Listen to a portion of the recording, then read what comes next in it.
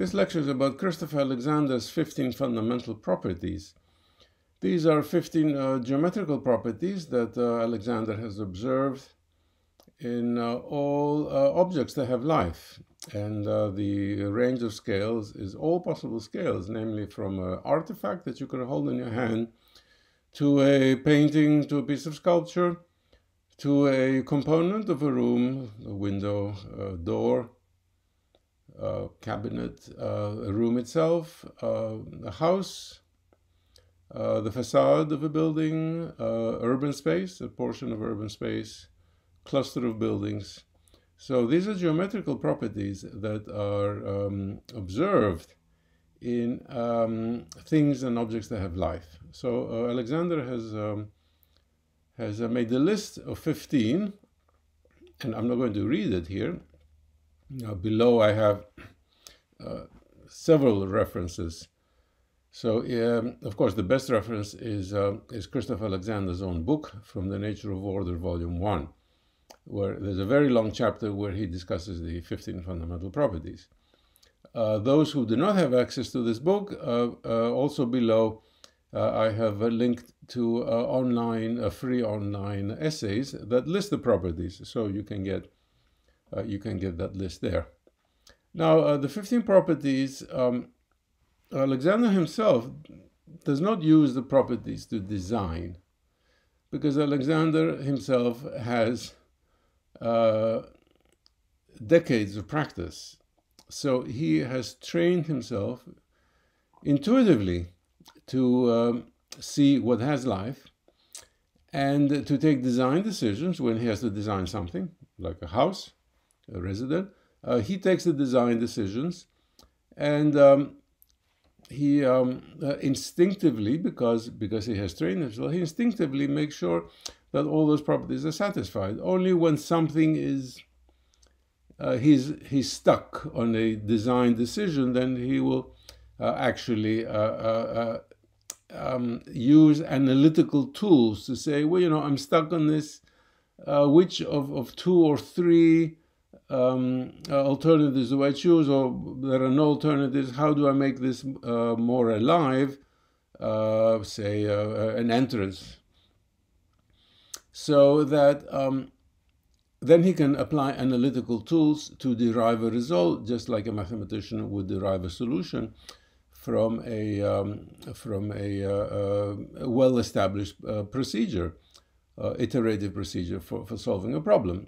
however, what I'm talking about, the design method uh, developed by Christopher Alexander, is unknown to most uh, architects today. So uh, we really have to start from uh, the, the pieces of the design method.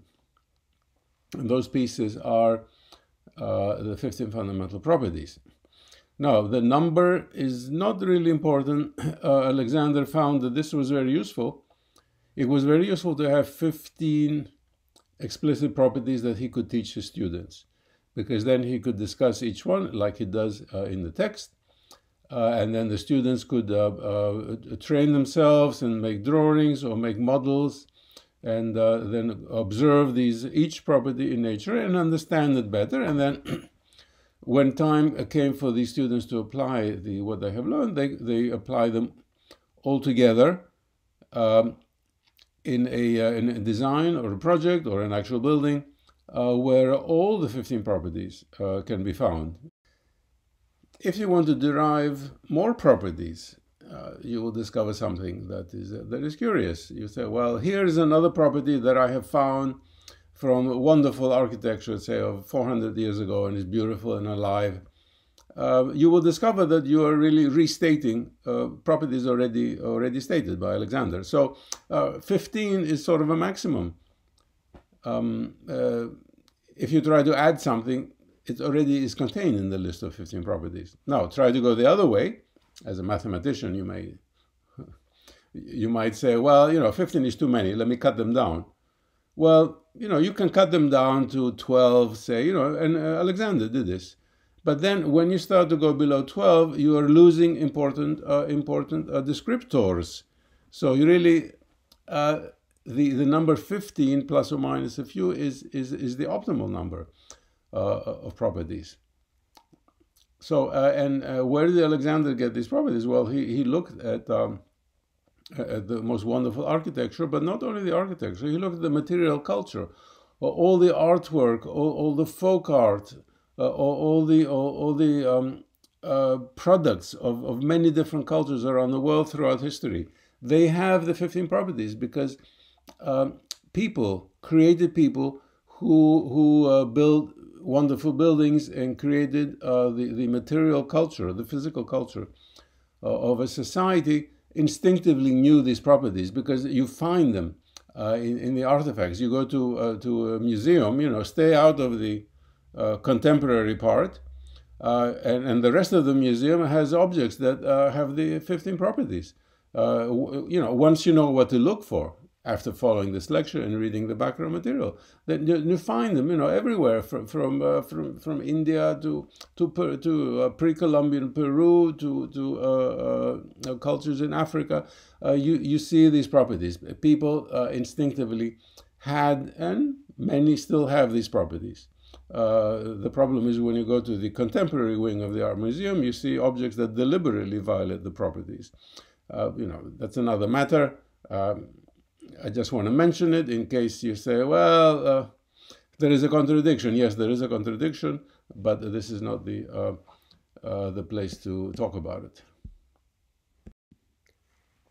I wish to recall the roots of the modernist style and the birth of the modern, modernist style, which occurred through um, its uh, invented um, distinction from traditional ornamented architecture. Um, the early modernists became um, famous by attacking and condemning millennia of traditional ornamented architecture and branded, branded at all of that as criminal activity.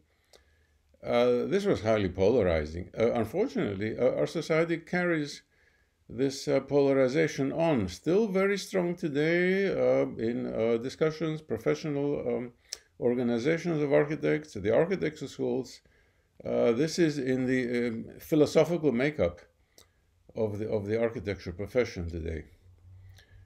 The 15 geometrical properties can help to finally break that um, polarization and, an open design up to this enormous range of, of creativity that, um, that has not been seen for, for a century, over, over a century. Uh, what happened a century ago is that um, the, the Bauhaus and related movements in the early 20th century um, claimed to have invented the universal truth, and everything else was redundant and, uh, and uh, not worthy of attention. Uh, after that point, external influences on design were just ignored uh, or, or, or, actively um, uh, blocked uh, because they were felt to be hostile to the, to the design canon of the universal truth that was established. Uh, this was a very unhealthy um, uh, development, but we still live with it today.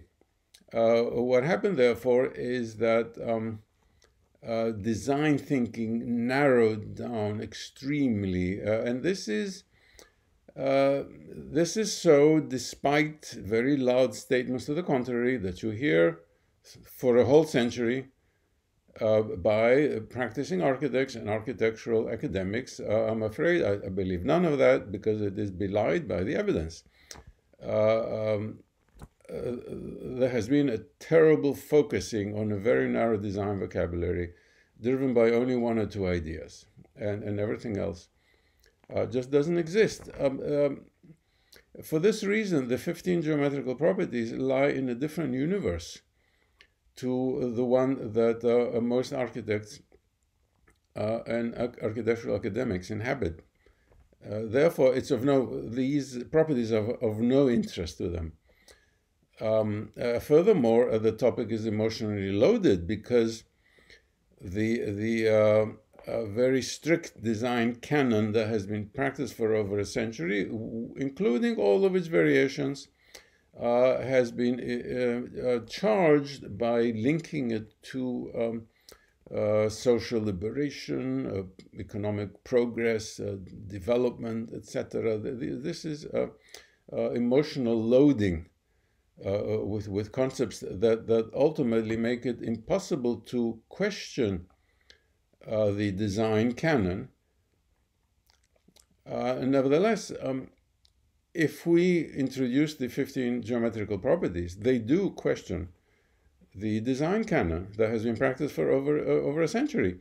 Uh, and, and we come up to this great stumbling block. So most architects will just ignore uh, the 15 properties because they, they, they, feel very uncomfortable when they're, uh, they're the universe, their, their conception of the universe, their, their conception of design philosophy that they have been taught and, and brought up with when those are questions, and they are questions by the 15 properties, that um, uh, it is easier just to ignore this and um, and not bother with with, with something like uh, like uh, like the 15 geometrical properties.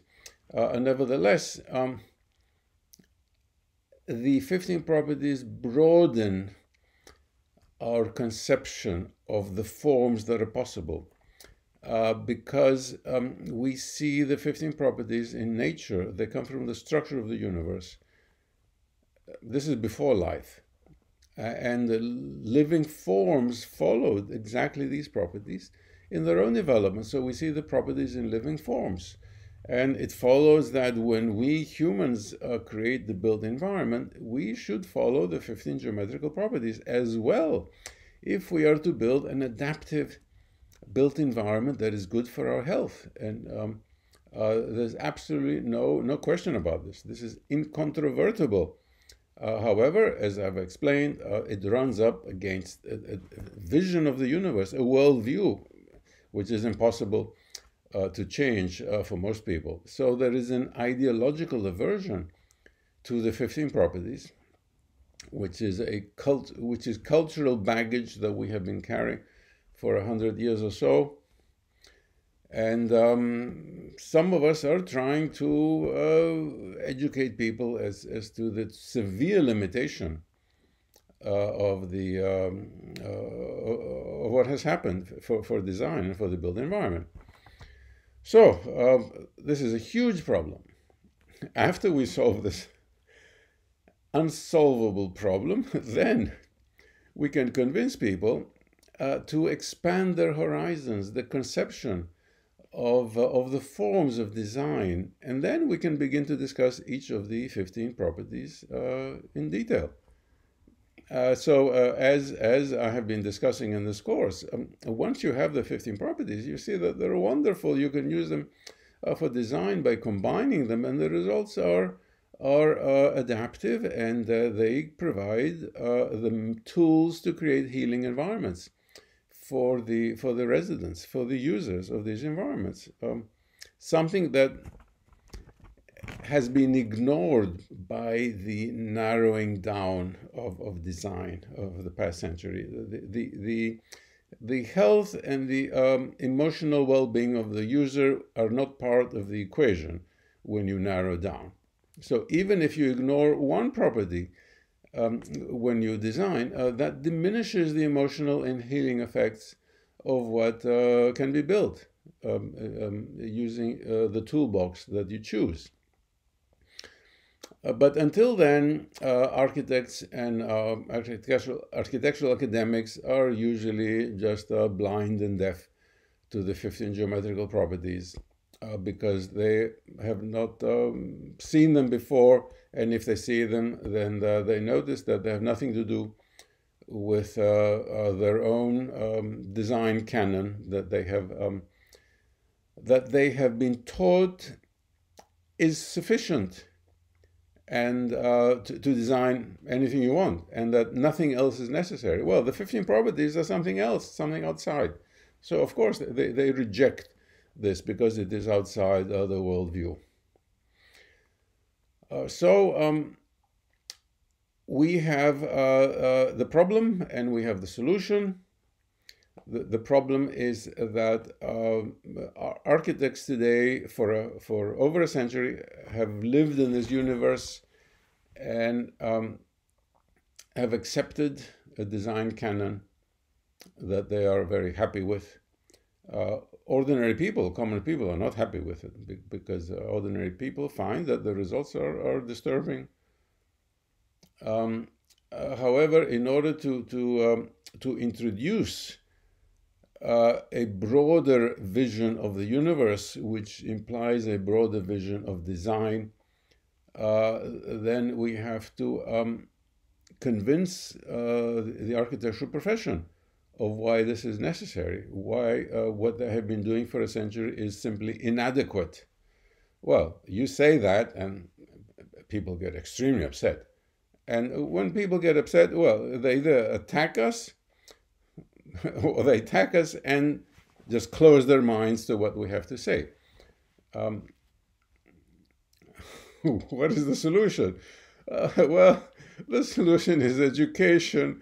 That's why my friends and I are, are uh, writing papers, publishing books, uh, giving talks, uh, uh, publishing uh, lectures online. So hopefully people will uh, we'll see that there is an advantage to uh, increased knowledge. Uh, there is all this vast uh, scientific um, uh, data that has been available, that's available only in the last 10, 20 years, that was not present a century ago. Uh, you know, and this recent data on neuroscience and physics and biology just completely revises the, the architectural design canon of, of the past century. So hopefully, if our society values science above dogma and, and a certain tradition, sort of uh, uh, not a very good tradition, but a, an established tradition, uh, then uh, hopefully we will see some change.